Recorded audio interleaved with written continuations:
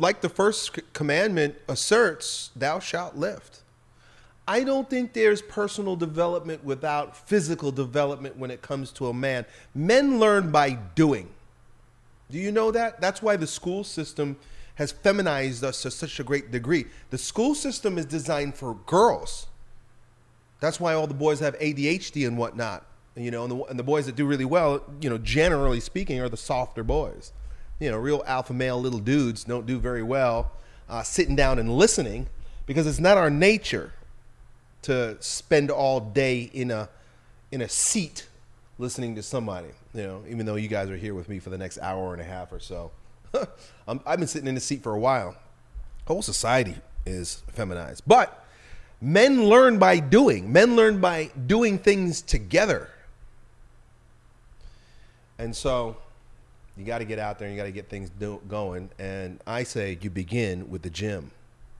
Doesn't mean that you got to be a bodybuilder. Doesn't mean that you got to be a strongman or a power lifter. None of that at all. You don't even have to be a CrossFitter. But you got to use it or you lose it. And a man, his gift, our gift, what sets us apart from women is our body. That's why women can compete with us on, in pretty much every regard. They're, you know, they've taken over basically every industry.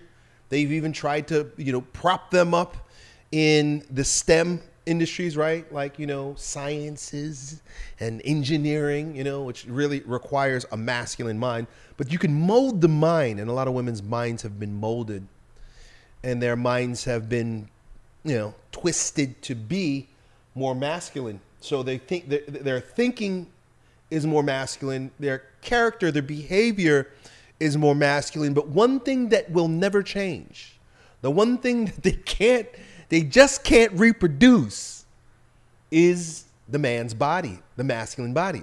Now, I don't care if you get an addictomy and you start taking hormones, you will never compete with a man. Even the most mediocre of men would destroy a woman, even if she's one of the top women. That's why the uh, did you notice when the uh, the Olympic the women's Olympic soccer team lost to like a middle school boys soccer team. Oh, you might you might wonder how does that happen when men and women are equal? A woman can do anything that a man can do. Well, why is it that teenage boys whoop up on the the world's best soccer player, female soccer players? Because the one thing that sets us apart that cannot be faked is our bodies, our strength. So, men, the reason why the first of all commandments is to build up that body. It is because that's what will set you apart.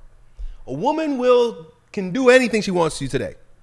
She's got the law on her side. But one thing she can never be is stronger than you. right?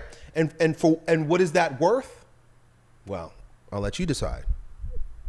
I'll let you decide in a woman in a, in a world where women think that it's okay to slap men I slap a woman back. If a woman slap me, I'll slap her back with a heavy, heavy hand. Does that make me a bad guy or misogynist? I don't know. I don't know. But you lay a hand on me, I don't care. I don't. I don't care.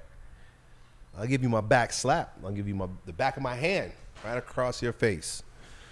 So I don't know. But the bottom line is here, fellas, if that we're in this uh, journey of growing stronger, becoming the strongest version of ourselves, becoming kings in our lives fitness, business, and with women, it begins with what we do with our bodies. So get out there, guys. Get to the get to the uh, get to the gym.